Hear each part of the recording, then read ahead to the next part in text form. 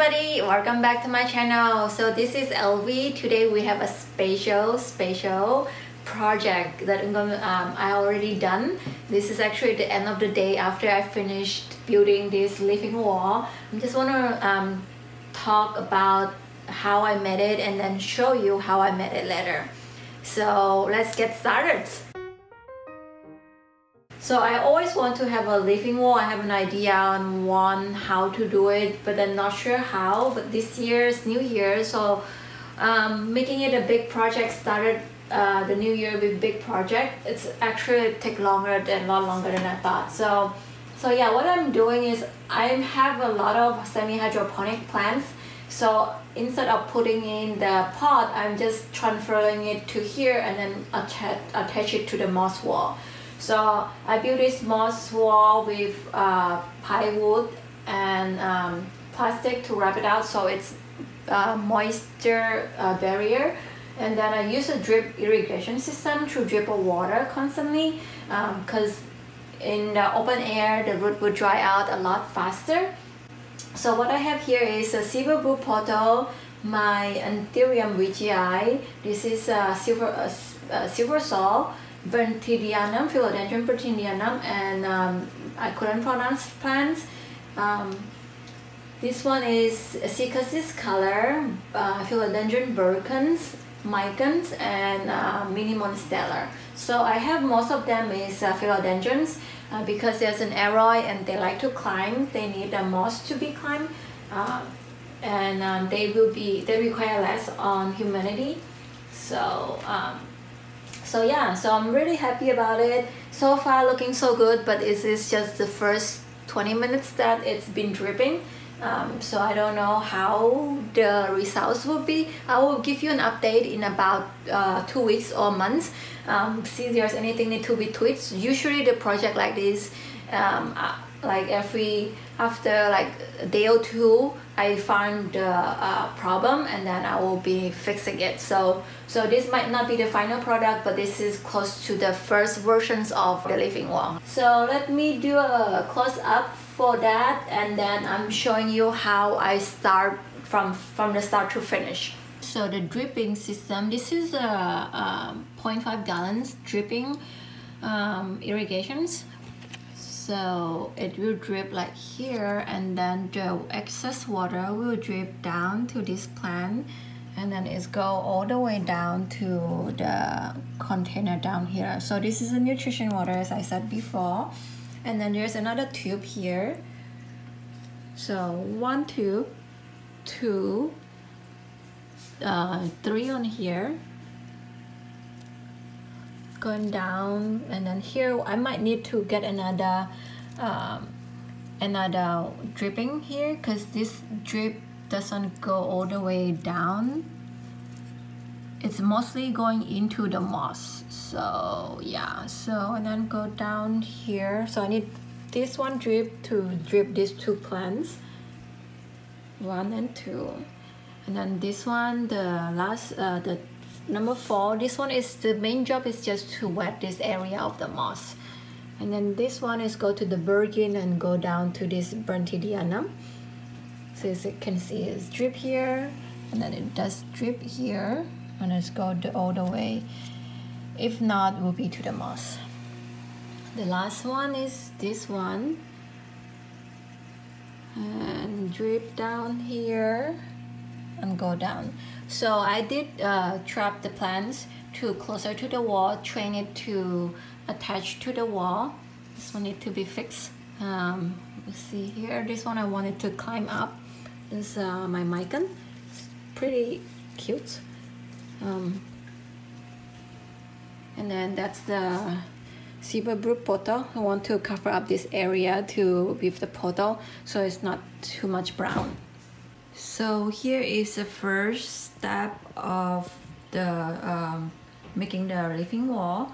So I bought this from Lowe's. So this is just a plastic container. And then here is the board that my husband built for me. Um, shout out to him. He is awesome, the best husband. So um, it's just a piece of uh, plywood wall plywoods and then we screw it together with 2 by 4 and paint it up. So this is the structure structure for for the first step and then afterward I'll put the moss. So you can see from the behind um, 2 by 4 and screw it with um, put it together by screw. The bottom is the one that's standing up this is how we just put slide this in so the water will be would not come out from the other side was directly drip it back to here and the next step is to cover the board with the plastic so the tool that I need is a staple gun and then the second thing is a plastic sheet. So I got this from Home Depot, uh, the paint sections. This one is uh, 6 mil, mil thickness, clear, uh, clear transparent plastic. It's used for insulation and moisture dust barrier. So um, it's pretty thick, it's pretty good to, um, to separate the wood with the water. So I'm going to cover the front of the wood, uh, the wood with the plastic sheets with the using the staple gun to um, secure the plastic in the bag. And now um, I put the plastic wrap in the bottom. I'm going to wrap it and staple it together. So make sure to leave a room from the top and the bottom so it all get wrapped.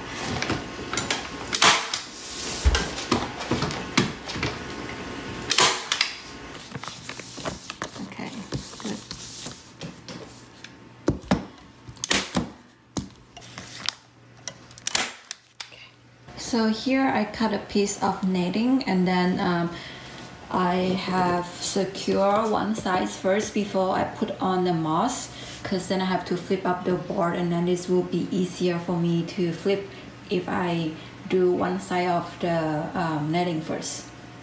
So this is the sphagnum that I'm going to use to put on top of my wall. And um, for what I'm to do is I'm just to moist it and then lay on top of everything and then wrap it up so I can have a secure moss wall.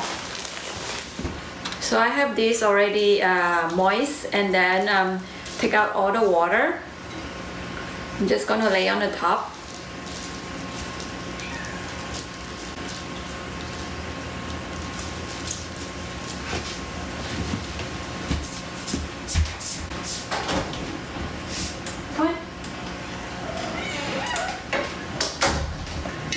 This is going to need a lot of moss.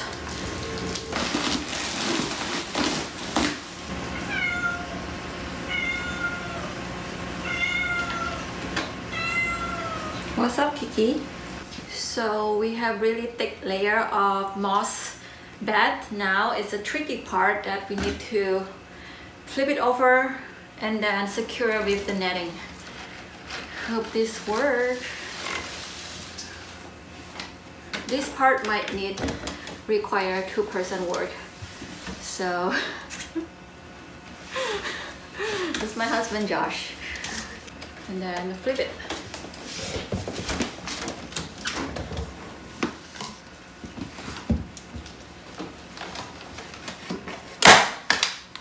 So now I need to secure the top. I might need to cut some of them out. Yeah, something like that.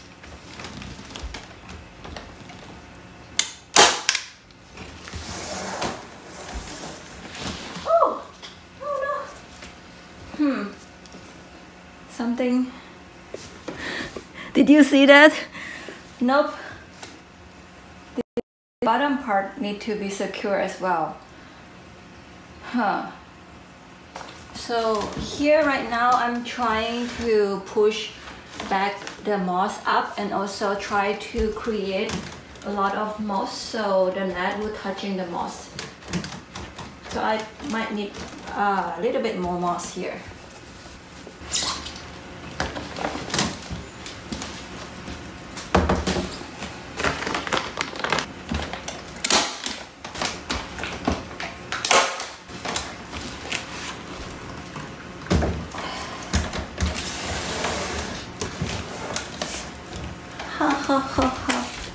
Ta-da! So perfect moss wall. Um, I might want to secure more like doing the use a screw to screw it in this netting because um, there's nothing in between here so yeah I think I should do that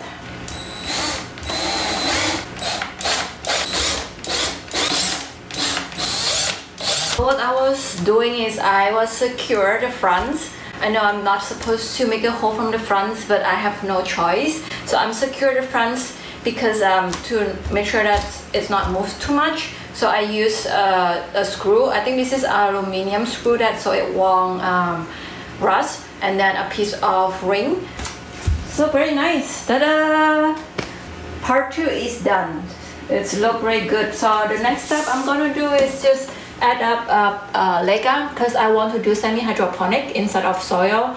Um, put a leca underneath a pump underneath and then uh, run a kind of dripping system so I can keep the moss uh, wet consistently and then put the uh, plants up here. So excited. So inspection fail not supposed to make a hole from the front so I have to redo all the plastic because my husband doesn't like the screw come over the other side. It's not waterproof. He's take it off and then redo it again. This time, I'm going to put another layer of netting in the back of the board so I can zip tie this part, the, the back of the the back size of the netting with the front side of the netting instead of using the screw.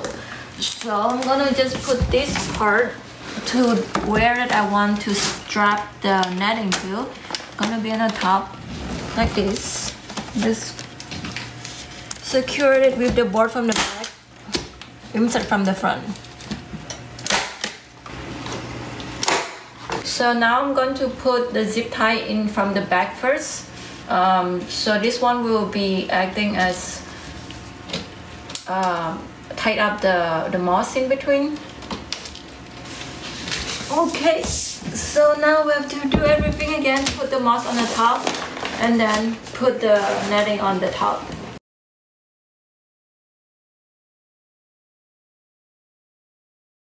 Back in. Yeah, put it back in.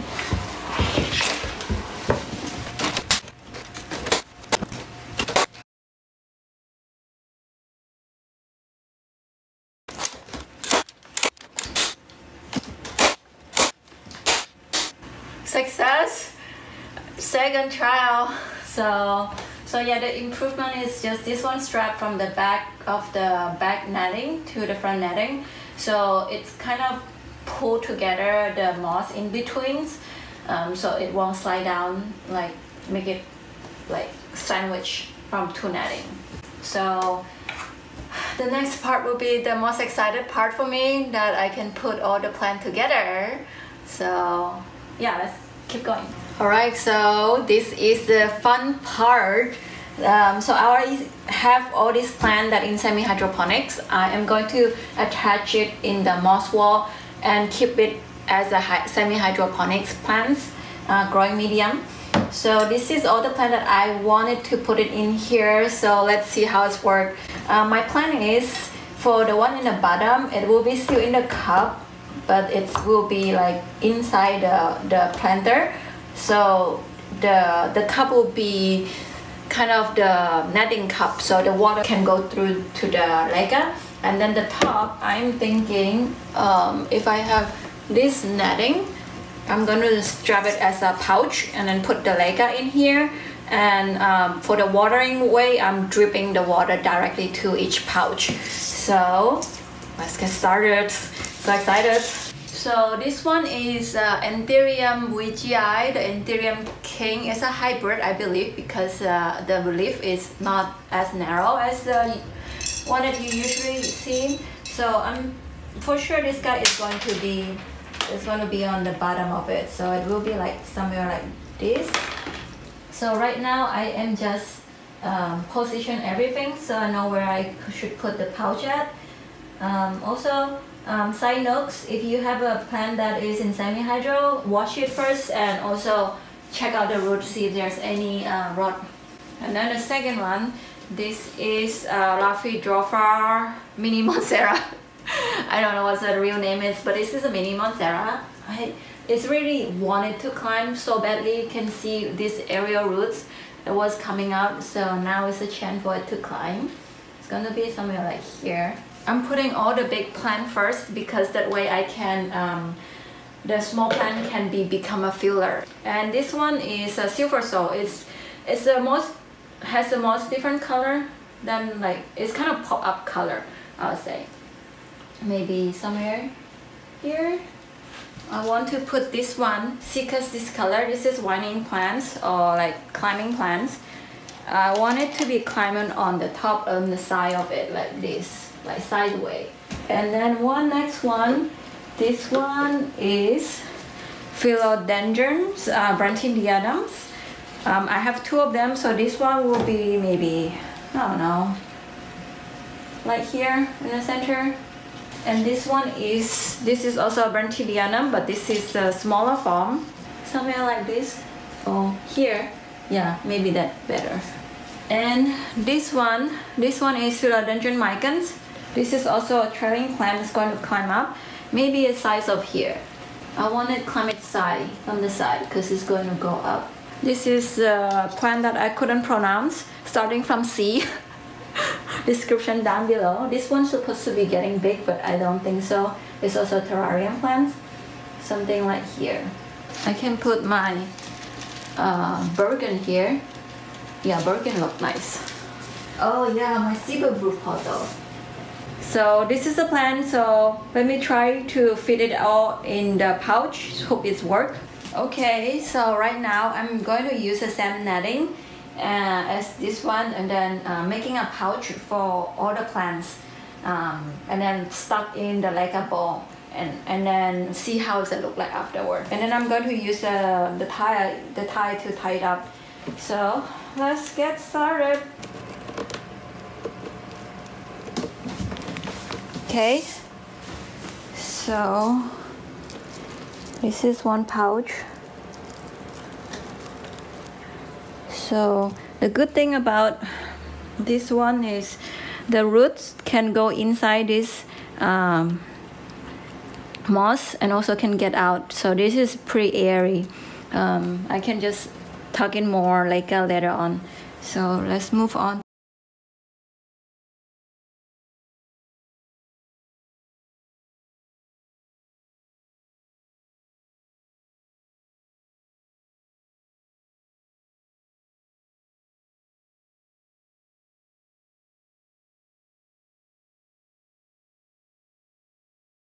Okay, so after a lot of struggle with the leca and the zip tie and the trap, finally we have a final product, a final look. This is going to be, um, how does it look? Like you can see the pothos is going along the bottom, so it's kind of covered up some of the leca and it will eventually going up as this side. The mican as well is going up on that side. This one will be go on that side. So this one is also trailing plants too. So I hope it's going to go up in here. The the uh, bur uh, is just going to be like this, but I hope it's going to grow uh, nicer color, kind of centerpiece. And this is very nice hanging out here. Um, they are the two the same kind, so I'll put it side by side. So the next step will be going to add the drip system. So I'm going to drip like from the top to the bottom. So that's how we wa want to water. It um, water with nutrition water. The pump will be from here. We get the water from here pour it to the top and then drip it down like this and then going down here. Let's get started. So we have this uh, drip irrigation system. Uh, you can get it at home depot or amazon. They have a starter kits. So this is 0.5 gallons drip adjustable. So what we're gonna do is we have this pump that's from a aquarium pump. We connect the the pump with the tube. This is uh, i don't know how big is that. It come with the kits if you bought that. And then uh, connect it to the t connector and then we're going to have connect six of this into the board. So I'm planning on put one two three four on the middle of the moss and then five six. So because this this pouch is kind of parallel to each other. So when it drip, it's gonna be drip down to the next pouch, like this one as well, this one as well. So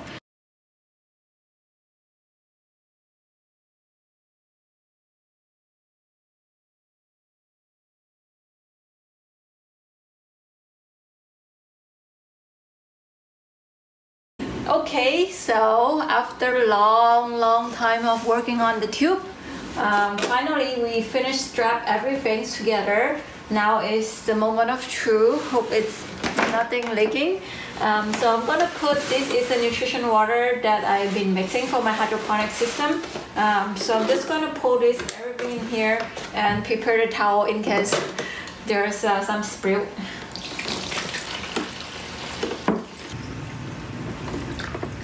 Okay, so power, ready.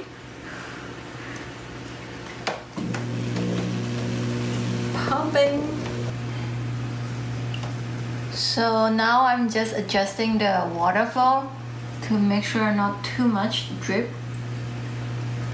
because you want it slow and constant.